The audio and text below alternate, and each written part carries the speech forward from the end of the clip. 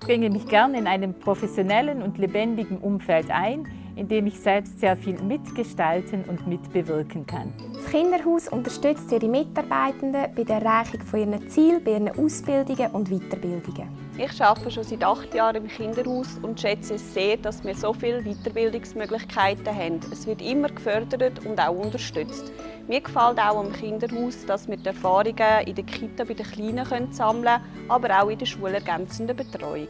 Mir ist es wichtig, dass sich Kinder und Familien wohlfühlen im Kinderhaus, damit wir einen gemeinsamen Weg gehen können und sich alle aufgehoben fühlen. Ich arbeite im Kinderhaus Küsnacht, weil die Umgebung im und rund ums Bethlehem mega schön und vielseitig ist.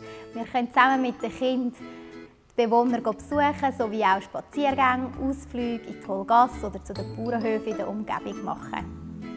Äh, am Kinderhaus finde ich am schönsten, dass ich mit den Kindern, die ich betreue, das sind ähm, die Oberstufenkinder, erste bis dritte Oberstufe, ähm, dass ich mit ihnen zusammen über den Teller anschauen und äh, an frischen Sachen forschen. Das Kinderhaus ist für mich äh, ein, neben meiner künstlerischen Tätigkeit, die ich sonst mache, ein Sprungbrett in eine andere wundervolle Welt. Und für das danke ich sehr.